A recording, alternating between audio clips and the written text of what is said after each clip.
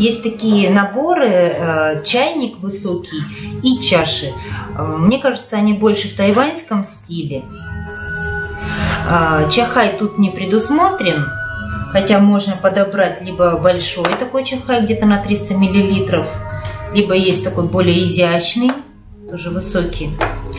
Можно, конечно, и какие-нибудь стандартные чахаи пониже, но вообще предполагается, что вы будете заваривать и разливать прямо из этого чайника.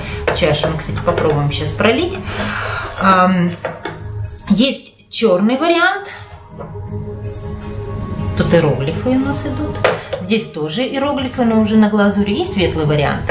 А вообще такие чайники насколько я знаю, предполагаются в Китае для красного чая. Почему-то они любят для красного чая делать такие вытянутые формы, но это не обязательно. Можно и пуэрчики в них заварить, и даже улун. То есть кто что хочет. А, давайте попробуем пролить. Объем чайников 200 миллилитров.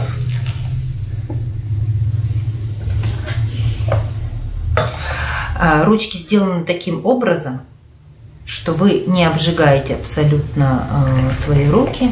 Хорошая струя, хороший слив.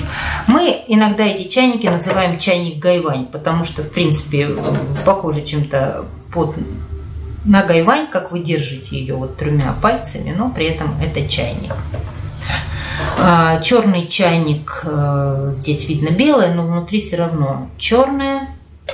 Такой вот иньян.